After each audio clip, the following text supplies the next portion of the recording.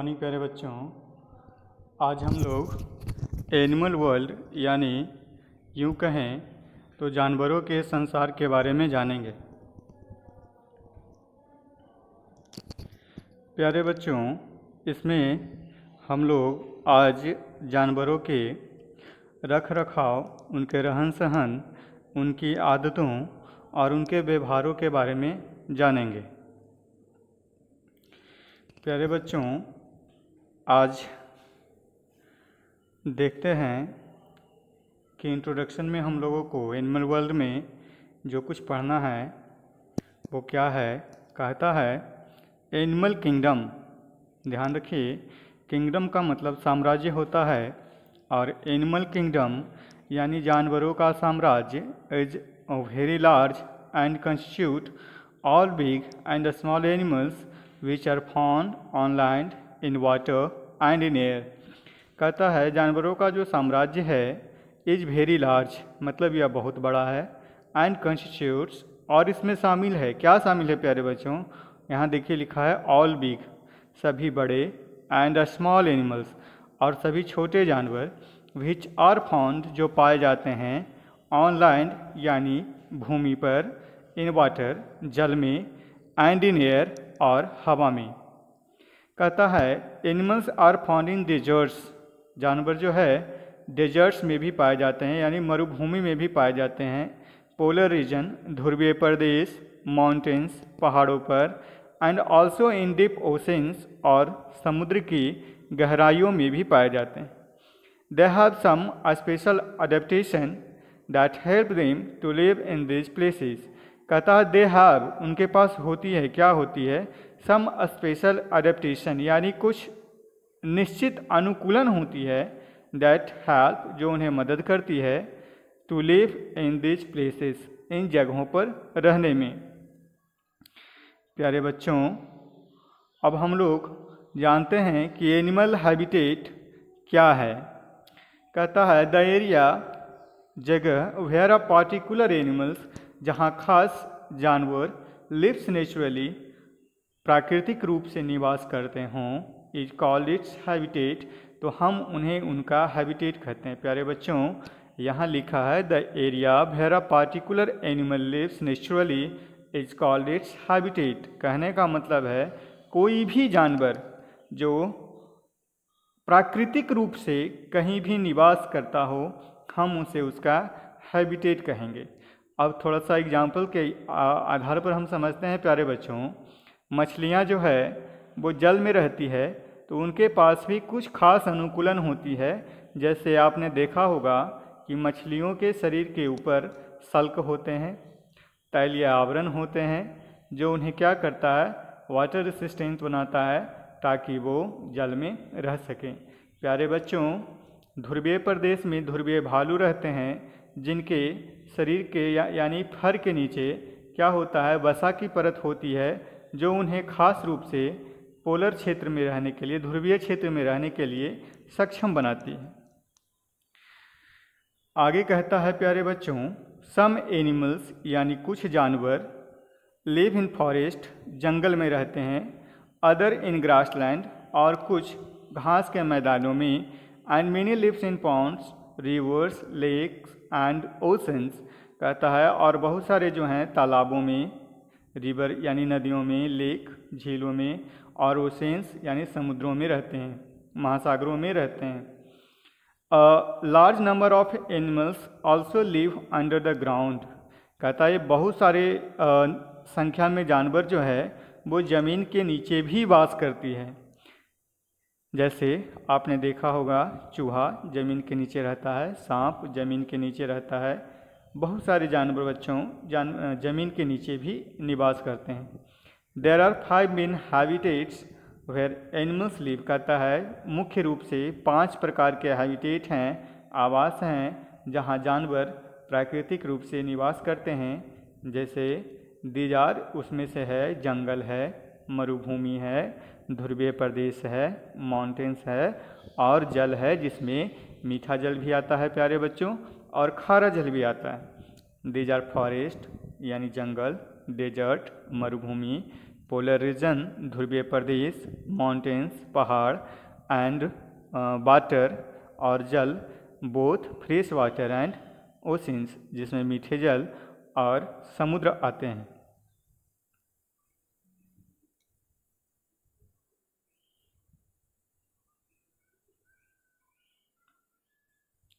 प्यारे बच्चों, अब हम फॉरेस्ट के बारे में देखेंगे कि फॉरेस्ट क्या कहता है।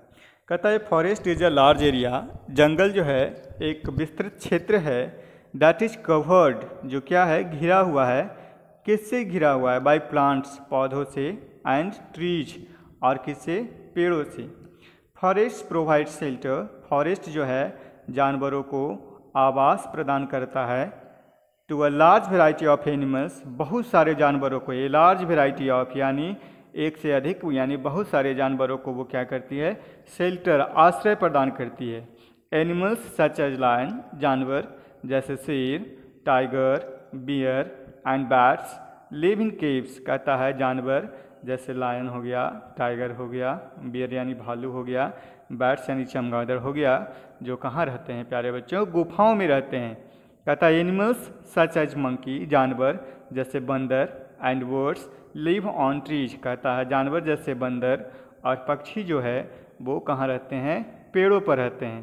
Rabbits snakes rats and earthworms live in burrows in the ground कहता है, खरगोश, सांप, चूहा और केचुआ, वो क्या करते हैं प्यारे बच्चों? ज़मीन में गड्ढा खोदकर या बिल बनाकर रहते हैं। अब है डेजर्ट के बारे में जानेंगे कि डेजर्ट क्या है। कहता है desert is a dry and sandy region which receives very little rainfall कहता है, एक डेजर्ट जो है, प्यारे बच्चों, यानी मरुस्थल, मरुभूमि जो है, एक सूखा क्षेत्र है, बलुआही क्षेत्र है विच जहाँ रिसिव्स वेरी लिटिल रेनफॉल यानी बहुत ही कम मात्रा में वर्षा होती है।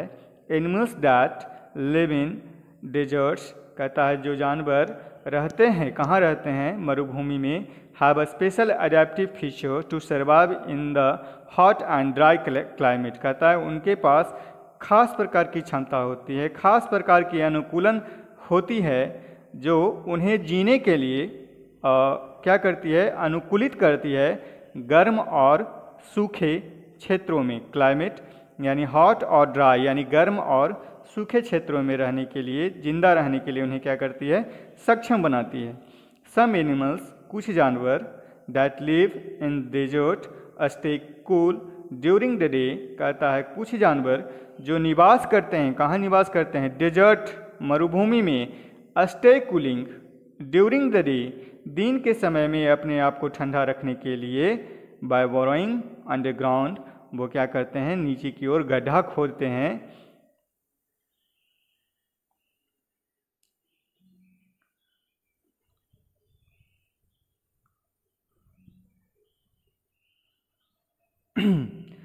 कहता है अदर डेजर्ट एनिमल्स कहता है, दूसरे जो मरुस्थलीय जानवर हैं have thick skin to avoid water loss through sweat कहता है, उसके पास क्या होते हैं? चमड़ी जो होती है, सख्त होती है टू एवॉइड वाटर लॉस ताकि उसे क्या हो सके? बचा जा सके। किससे बचा जा सके? जल की हानि से, यानी जल की जो क्षति है उसे रोका जा सके जो पसीने के द्वारा बाहर निकलती है। अब पोलर रीजन एंड माउंटेन्स कहता है polar region and high mountains on the earth are covered with snow and are extremely cold polar region ध्रुवीय प्रदेश एंड हाई माउंटेन्स और ऊँचे पर्वत ऑन द अर्थ पृथ्वी पर आर कवर्ड वो क्या हैं? आच्छादित हैं, यानी ऊपर से ढके हुए हैं। किससे ढके हुए हैं, प्यारे बच्चों? विथ स्नो किसके साथ? बर्फ़ के साथ। एंड आर एक्सट्रीमली कोल्ड और वो क्या है? काफ़ी ठंडा है।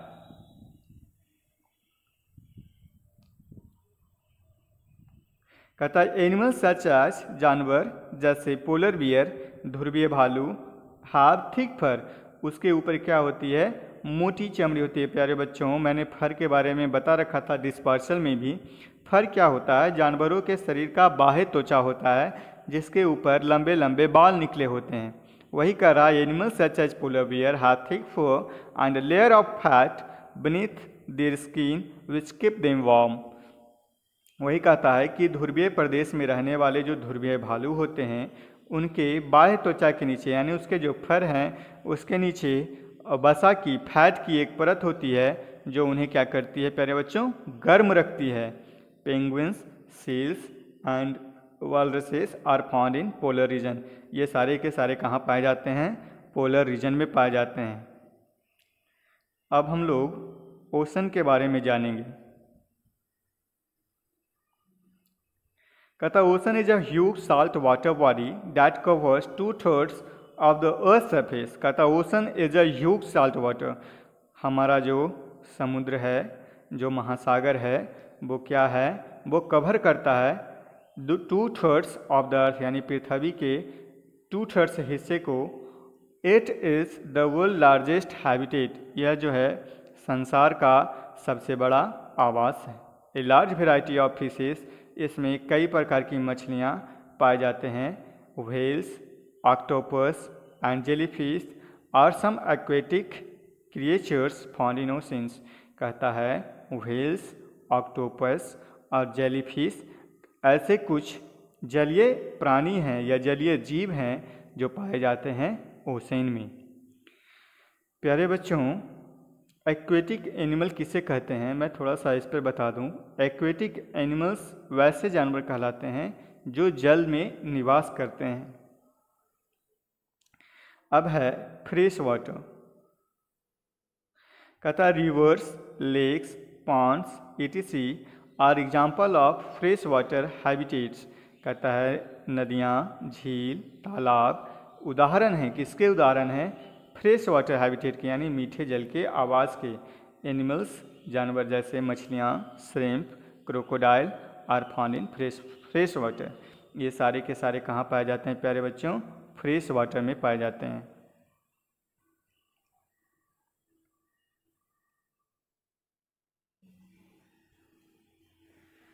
अब हम लोग, प्यारे बच्चों, बॉडी कवरिंग के बारे में जानेंगे। जानवरों के शरीर के जो ऊपर के कवच होते हैं, उसके बारे में जानेंगे। कहता है animals have different type of body covering जानवरों के अलग अलग प्रकार के बॉडी के ऊपर जो हैं, उनके कवर होते हैं। यानी आवरण होते हैं।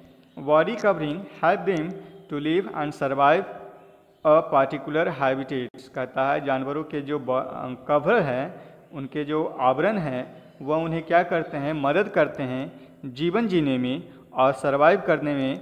पार्टिकुलर हैबिटेट उनके अलग अलग अपने अपने आवास में, जीने में उन्हें क्या करती है?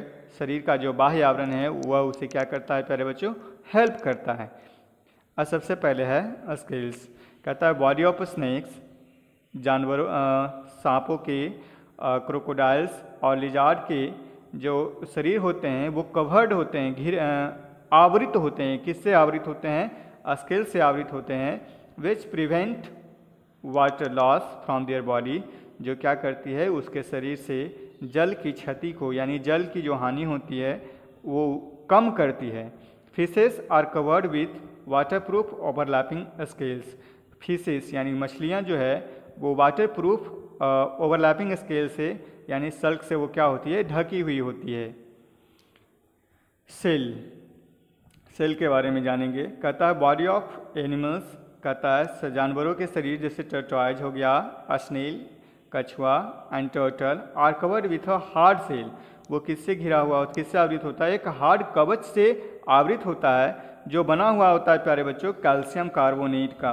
ध्यान रखिएगा प्यारे बच्चों, आपसे एग्ज़ाम में यह पूछ लिया जा सकता है कि आप बताएँ टोटॉइस स्नेल टर्टल के जो सेल हैं, वो किस चीज़ के बने होते हैं? तो कैल्शियम कार्बोनेट के बने होते हैं। Which protect them from any danger जो उन्हें किसी भी खतरे से बचाती है। वेन दिज एनिमल्स एक मिनट दिख नहीं रहा है।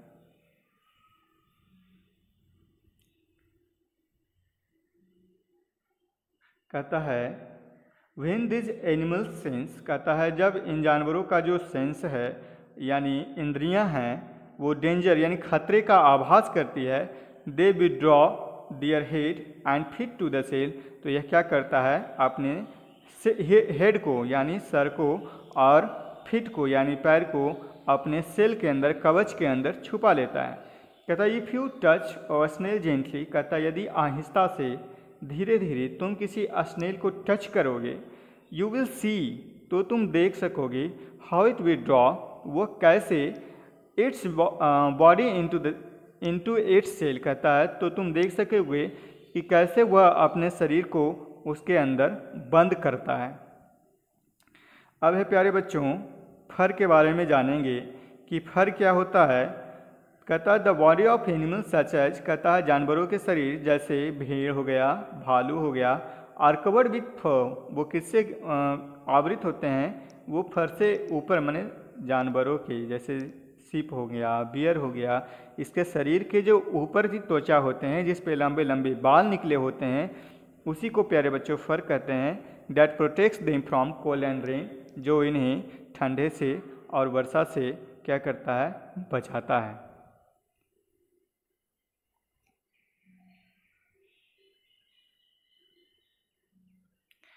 फीदर्स कहता है birds are covered with feathers which help them in their flight कहता है वर्ड्स पक्षियाँ जो होती है, वह भी कवर्ड होती है किससे फिदर से, पंखों से विच हेल्प देम जो उन्हें मदद करती है किसमें?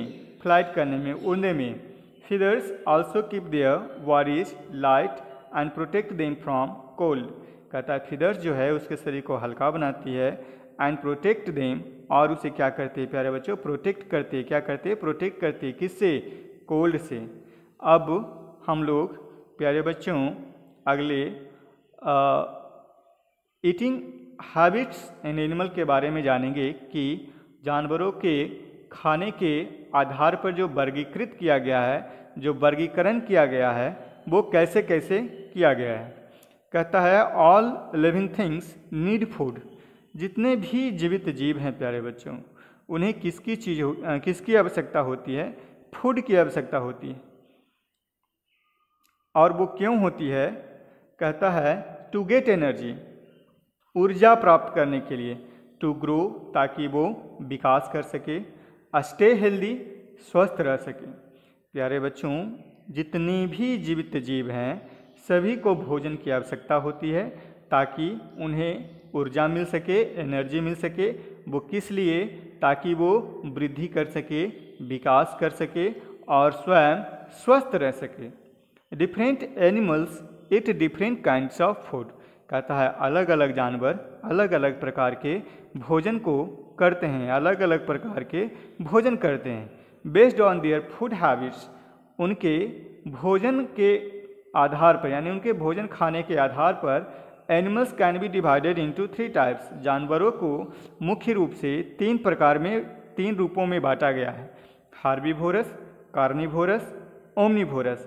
प्यारे बच्चों यह जो वाक्य बा, है इसमें कहा गया है कि जितने भी जीवित जीव हैं सभी को भोजन की आवश्यकता होती है ताकि उन्हें ऊर्जा मिल सके और उस ऊर्जा से वो क्या करें? ग्रो करें विकास करें वृद्धि करें और स्वस्थ रह सकें।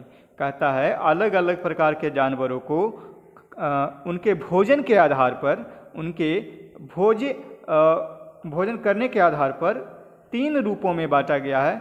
सबसे पहले हार्बीभोरस फिर कार्निभोरस फिर ओमनीभोरस अब हम एक एक करके इनके बारे में जानेंगे कि क्या हार्बी भोरस हार्बीभोरस कार्निभोरस ओमनीभोरस कैसे है उसके बारे में। कहता है plant eating animals are called herbivorous आपने देखा होगा प्लांट ईटिंग एनिमल्स कहने का मतलब जो पौधों को खाकर अपना जीवन व्यतीत करते हों हम उन्हें हार्बीभोरस यानी साकिए प्लांट ईटिंग पौधों को खाने वाले जानवर क्या कहलाते हैं? हार्बीभोरस कहलाते हैं। आपने देखा होगा आपके घर में बकरी होगी गाय होगी आ, बगल में अगर घोड़ा भी हो तो वो क्या करते हैं? घास खाते हैं। और giraffe they have sharp and front teeth incisors कहता है इनके जो आगे के शार्प टीथ होते हैं, जिन्हें हम लोग क्या कहते हैं इंसीजर्स कहते हैं फॉर बिटिंग वो क्या करता है, काटने का काम करता है। Broad and strong back teeth molars और उसके जो बैक टीथ होते हैं, जो ब्रोड होते हैं चौड़े होते हैं, और स्ट्रांग होते हैं, मज़बूत होते हैं, जिन्हें मोलर्स हम लोग कहते हैं फॉर ग्राइंडिंग फ़ूड वो भोजन को पीसने का काम करती है। तो प्यारे बच्चों, आपसे पूछ लिया जाएगा कि डिफाइन सम पॉइंट्स जिसमें हार्बीवोरस अगर दिया हो तो आप क्या लिखोगे? Plant eating animals are call herbivorous और एग्ज़ाम्पल के स्वरूप उसमें आप लिखोगे काउ गोट हॉर्स जिराफ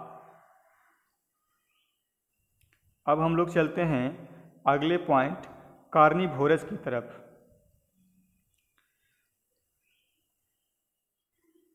कार्निवोरस किसे कहेंगे हम लोग? कहता है फ्लेश सिटिंग एनिमल्स यानी मांस का भक्षण करने वाला, मांस को खाने वाला जानवर आरकॉल कार्निवोरस। अच्छा प्यारे बच्चों, जो जानवर सिर्फ़ मांस को खाए ना, हम उसे कार्निवोरस कहेंगे। They have sharp pointed canine teeth इनके पास नुकीले पॉइंटेड टीथ होते हैं, जिन्हें हम लोग केनाइन कहते हैं फॉर टीयरिंग फ्लेस ताकि वो फाड़ चीर सके। किसको? मांस को। वो फाड़ चीर करे। एग्ज़ाम्पल उदाहरण के आधार पर lion tiger cat and wolf प्यारे बच्चों कार्निवोरस में इतना ही। अब हम लोग ओमनीवोरस में देखेंगे कि ओमनीवोरस किसे कहते हैं।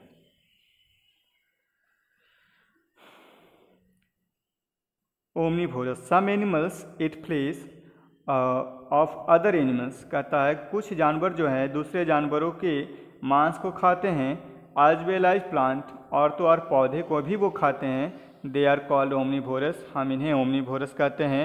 उदाहरण के लिए ह्यूमन बींग्स मानवीय प्राणी, मानव, शाकाहारी भी होता है, मांसाहारी भी होता है तो दोनों को मिलाकर सर्वाहारी जो सब कुछ खाए। बियर एंड क्रो और कौआ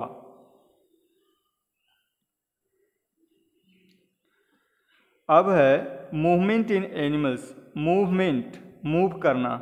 कोई भी जीव एक जगह से दूसरे जगह मूव करता है तो हम उसे उसका मूवमेंट कहते हैं। तो जानवर जो है, किस प्रकार से मूवमेंट करता है? किस प्रकार से वह एक स्थान से दूसरे स्थान को जाता है?